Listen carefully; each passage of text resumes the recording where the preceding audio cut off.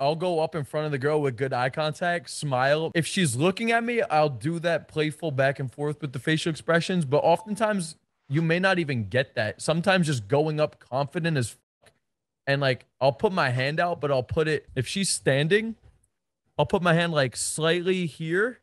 I'll slide my hand to her hand in a way that's like grabbing her hand and pulling it forward. And look, I'm not going to like go 100% doing this. It's actually kind of a direct style approach. But when you do it confidently with a good smile and you you know, you're like well groomed, okay? Like if you're going in looking like a fucking bum, dude, it's not going to go anywhere. Okay? But if you're well groomed, you can hold good eye contact and a smile and you can go up to her and just grab her hand not grab her hand, graze your hand on her wrist, and then slide it to her hand and pull her towards you. I've noticed that can be very effective. The other thing I'll do maybe is I'll just plant myself in the vicinity and I may really loudly make an observation off to the side the other thing I may do is instead of just grabbing her hand, you could go right next to her. Like I'll just like bump my waist into her, like hip to hip bump, and do a little bit of a dance with a smile and a head nod. Really depends on what's going on, but those are like a couple different tools I would use to open. Open the people at the bar how you're imagining you would open on the dance floor.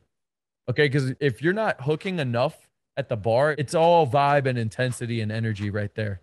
Okay, like that's a lot of it. I don't have amazing verbal game in these loud venues. Girls can't even hear you. How are you gonna have like a amazing verbal game? It's actually the opposite. It's like dumbed down, stupid, dumb game, silly, dumb game. It's like 12 year old game. it's like literally 12 year old game.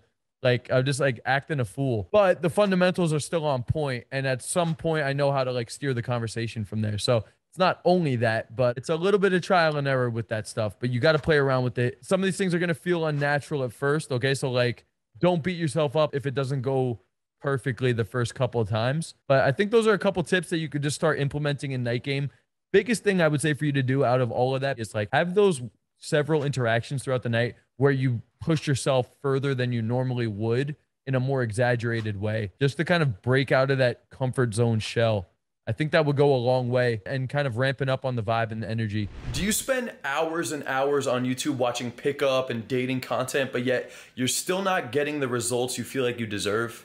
I mean, that's exactly how I was. I spent nine months watching YouTube content obsessively without ever making a single approach, without ever talking to a girl. And the messed up part of it was I genuinely thought I was getting better while I was watching that content. I would watch a new video, I would study, I would learn something, and in my mind, I thought I was getting better. And this process continued over months and months and months. The reality, I never talked to a single girl during that time. And when I finally went out, I had watched so much content that I was so overwhelmed in my brain that I couldn't even open.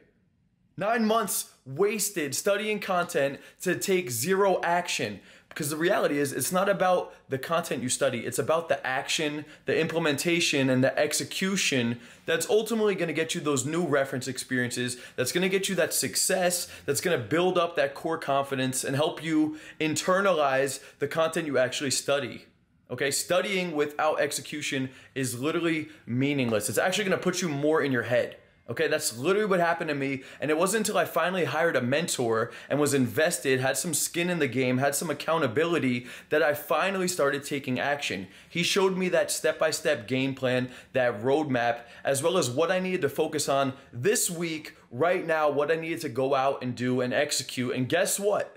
Once I had all of those pieces and I was actually invested and I had that guidance, I did take that next step. I did push it one step forward and I did finally start to make some progress, okay? Watching a bunch of content without doing the other side of it is absolutely pointless. And this is exactly why I've come up with my brand new mentorship program to hold guys accountable, to give them that personalized guidance, as well as that step by step game plan for them to focus on what they need to go out to implement and to execute right now not watching hours and hours and hours of content to get more in their head. No, no, no, none of that. Okay, I'm gonna literally show you what you need to do right now just to take that next step. We're gonna hold you accountable. I'm gonna answer any questions that you have along the way, and you're gonna get that personalized coaching that you need from someone that's been through this before. Okay, that's the best way to get results in this. And ultimately the most effective, fastest process to really genuinely get good at this. Okay, so if you're interested in doing this, click the link below, click the link in the description,